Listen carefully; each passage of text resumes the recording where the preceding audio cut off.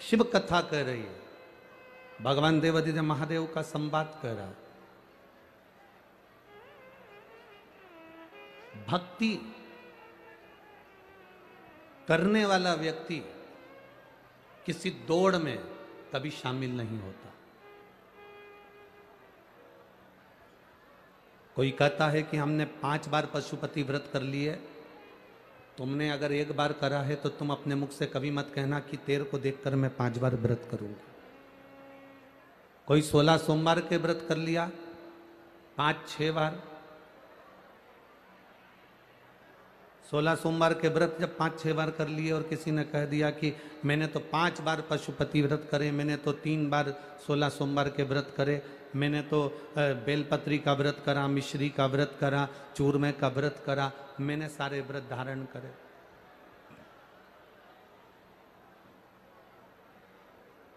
सब व्रत मैंने बहुत करे। और जब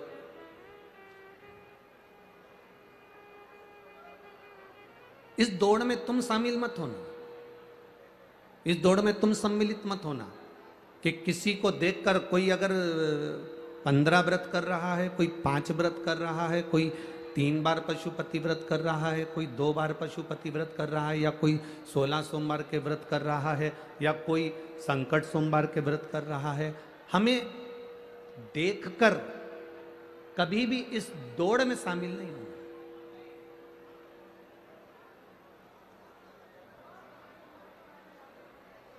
हम देखकर इस दौड़ में शामिल ना हो।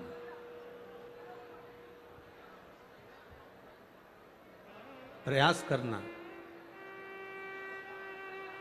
जितना इस शरीर से बने, जितना इस मन से बने, जितना इस चित्त से बने, जितना इस इंद्रियों से बने, उतने व्रत, उतने उपास, उतना भजन अपनी ज़िंदगी में धारण करना। दिखावे से व्रत की प्रबलता कभी नहीं होती।